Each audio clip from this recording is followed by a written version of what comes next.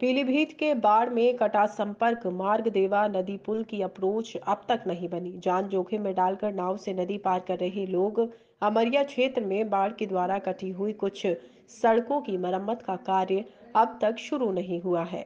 आवागमन में राहगीरों को परेशानी हो रही है। दो माह पूर्व बरसात के दौरान देवहा नदी में आई बाढ़ के दौरान क्षेत्र के नगरिया कॉलोनी भगा मोहम्मदगंज मार्ग पर पुल की संपर्क सड़क कई जगह से कट गई थी। देवहा नदी देवहा नदी में पानी अधिक होने के कारण इस मार्ग पर आवागमन पूरी तरह से ठप है।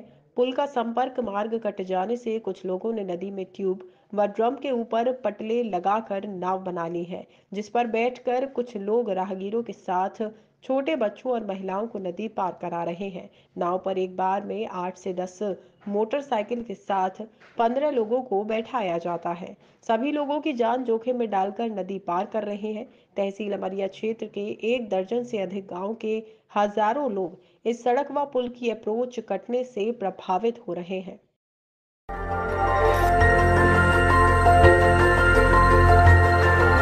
देखते रहिए डीबी भारती समाचार, नज़र हर खबर पर।